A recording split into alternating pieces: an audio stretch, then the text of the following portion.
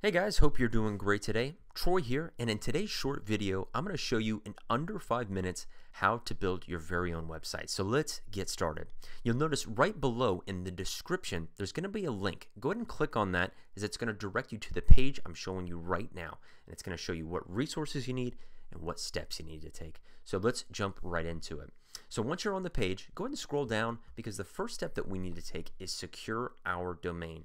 I've got this nice little domain checker on site for you to take a look and see if that domain is available. Now, if you've already got one, totally fine, but go ahead and give it a look. Make sure that you've got your domain secured. Of course, shameless plug for one of my other videos may be helpful to you. Go ahead and take a look. So step one, done, good to go. We have that domain. I'm building out my site in under five minutes. Step two is securing that domain and gathering and uh, accounting for our hosting. So go ahead and click on Get Domain and Hosting. It's going to take us to HostGator, and we're going to click on WordPress hosting. Once we do that, it's going to take us to this form to get everything set up. Now, we've already checked to make sure our new domain is good to go. We would just plug that in there. If we've already got one, click on that tab and populate that information, and then just go ahead and fill out these form fields. One thing to keep in mind, if you're building out a number of sites potentially in the near future, go ahead and select the option for more sites. Uh, of course, there's cost efficiencies there and you get more features. So once you drop in all that information, you'll go ahead and you'll get the best deal from me. You'll get one of the best offers through the coupon code that will pre-populate. And then of course, that will show up in your total. Go ahead and click on checkout and we've got steps one and two done. We've got our domain and hosting locked down. Now we're ready to set up our account. So once we get to that point, we're going to navigate to our control panel.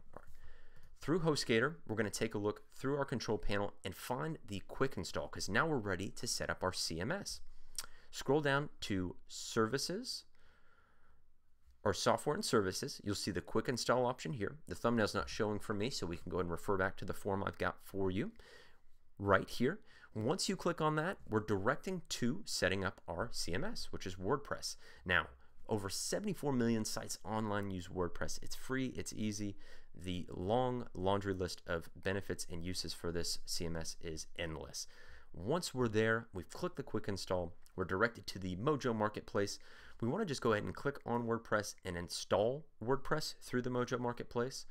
Enter our account details into the provided form, and then right at the very bottom, you'll see a green button that says install WordPress, and then you're good to go because from there it'll let you know from a prompt that your install is complete. You can gather your credentials. You'll click on the drop down arrow on the top right, gather your credentials from here, and it'll also have your admin link, which is your domain backslash WP slash admin backslash. You'll want to hold on to both your credentials and then have that link handy. It's very helpful to have that handy or bookmarked. So now we're ready to move on to step five. So we have our, our domain, we have our hosting, we've got our CMS. Now we're ready to customize our site. Now, from uh, the WordPress navigation, when we're directed through that WP admin link and we dropped in our credentials, we'll see the backend, the navigation. I'll jump quickly to one of my sites so you can take a look at that. Actually, it's this page here, so that'll be very insightful. Once you're here, you'll see the navigation running on the left-hand side, and then some of the page information, as that's what I'm navigated to here. Now, the first thing you'll want to focus on is really setting up your theme. So through appearance and themes, you can direct to that page and figure out whether you want a free theme or a premium theme. And again, themes are just layouts or site structures. It gives you the precedent from which to build your site on.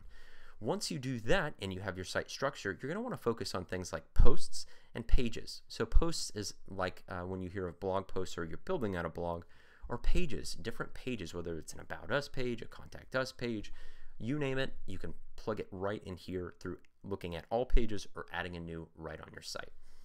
So once we have a look at themes, we've got posts, we've got pages, you even have the option to set up your, of course, your site's navigation. So once you have the About page, once you have maybe a contact page or different pages on your site, you can go through and customize your uh, navigation or menu through the uh, WordPress navigation. So I'm cutting it really close on time here. I hopefully that helps you guys out. Congratulations on building your site. If this was helpful, please share it. Send us some questions. If I can be of assistance, love to help out.